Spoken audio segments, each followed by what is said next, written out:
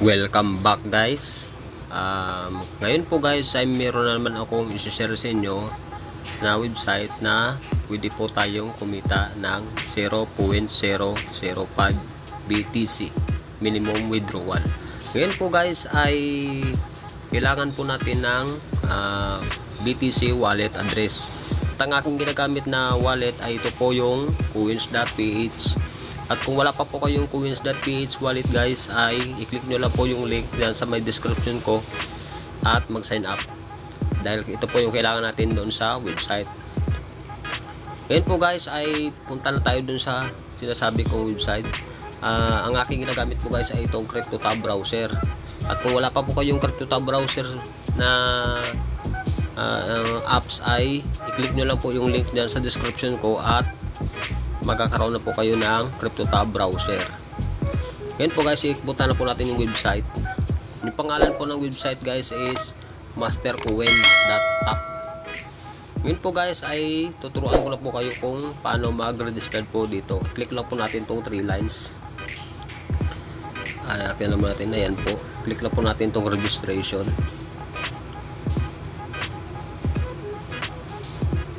Wait lang guys.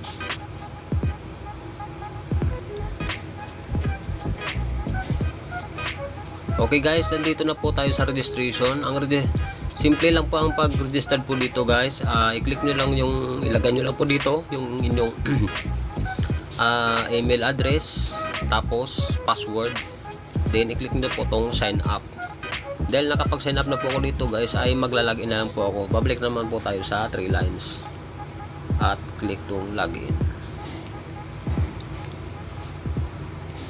Yan po guys, ay click lang tong login. Yan, successfully authorization na ako. Ayan po guys. Ngayon po guys ay scroll natin pababa. Ngayon po guys ay makikita nyo po dito yung Doge. Doge. Uh, Ethereum. Uh, Litecoin. ETC. Ethereum ano ba yan? Baka ano, it, basta ETC. Um, tapos ito po yung BTC dahil BTC po ng aking pinili kaya ito na po yung aking na ipo na BTC. Ngayon po guys ay kung paano po dito mag-start. Ito, XMR. Ayan po guys, mili lang po kayo dito kung ano po inyong i uh, ma-mining. Yun po guys ay kapag mag-mining po kayo ay i-click nyo lang tong start at automatic mag-start mining na po siya. Pwede rin po kayo mag-replenish kapag uh, gusto nyo mag-replenish at kapag tapos pwede rin kayo mag-reinvest dito. Kung nakapag-ipon po kayo ng tulad dito sa akin sa BTC ito guys. Kung sa pool uh, guys ay nakapag-ipon kayo na dito. Pwede nyo po i-reinvest para lalaki po itong ang um, amount dito po. Kapag naka-reach na po kayo ng 0.005 BTC ay pwede na po kayo mag-withdraw. I-click nyo lang po itong withdraw. Ngayon po guys ay punta tayo sa uh, punta naman tayo sa ano. Ito po guys yung kanilang uh, replenish. Ayan. $1, $5, sa 2 per, pag nag 2% na, ayan, $25, $50, $100, $200, $100, $800 at ang pinakamalaki guys ay $1,600 kung gusto mo pong mag uh, invest or mag buy ng plan. Yan po guys ay babalik po tayo dito sa 3 lines. Ito po tinan po natin yung buy yan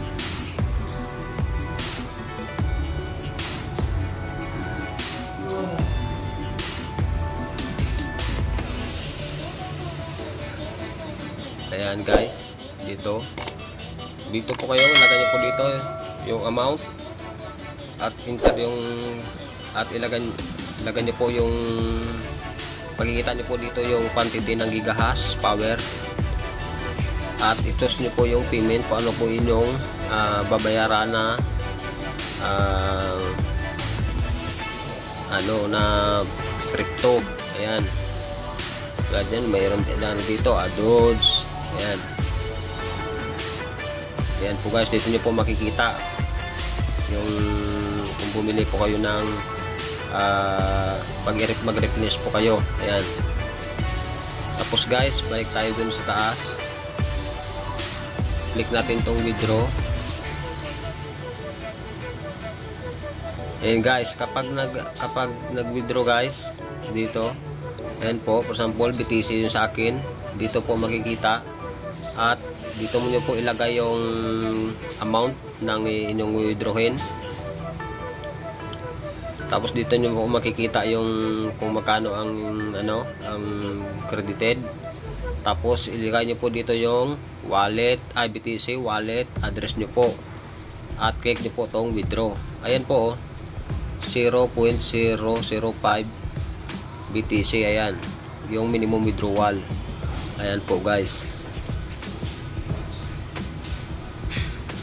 Ito nakalagay dito guys, you can withdraw without deposit. Di ba guys? Pwede kang makapag-withdraw dito guys kahit wala kang deposit guys. Kaya pwede tayo makapag mining ng libre at pwede tayo makapag-withdraw ng libre ng walang deposit okay guys din guys dito sa history ayan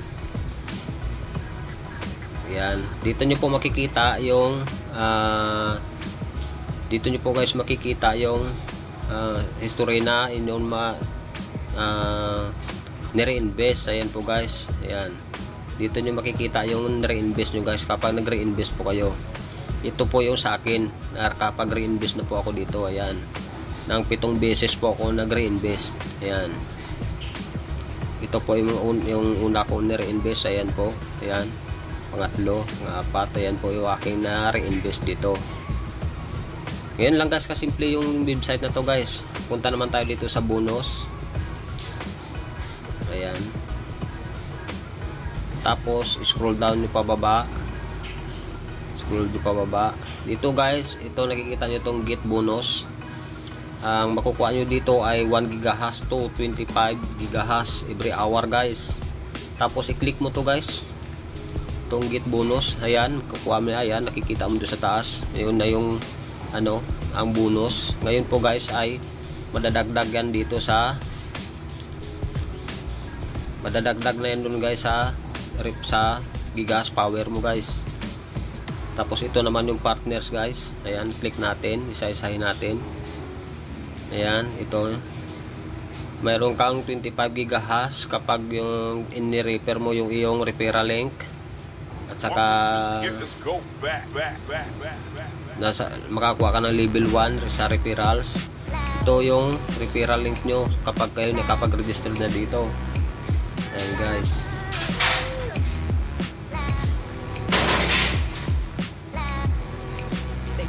Ako guys wala pa akong total referrals. Ka-active referrals wala pa. Wala pa akong na-receive.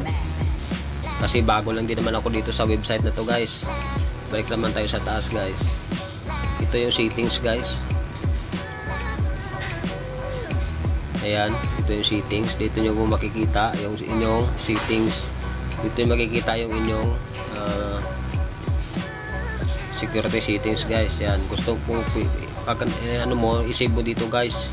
Yung ano mo para uh, lagi ka updated sa kanila guys. Ganun lang guys kasimple dito guys sa website ito ngayon po, ngayon po guys ay uh, ngayon po guys oh, nadagdagan na yung gas power ko kanina doon sa pag-receive.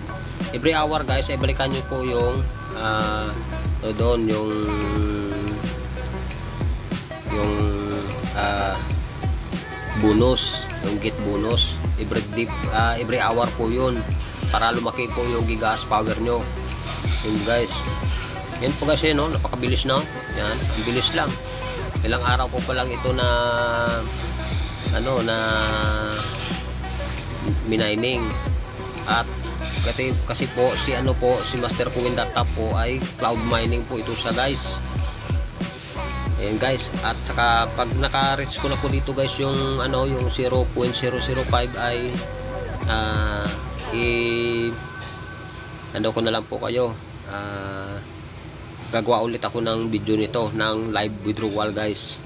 Para maniwala po kayo na pwede tayo makapag withdraw dito ng 0.005 na libreng load BTC At ang equivalent po guys ng 005 BTC guys ay ito po guys, punta po natin yung Google guys. Back natin. Punta natin yung Google. Ito guys. Ayan guys, ito ilagay natin dito ang 0. Ayan po guys oh. Ayan.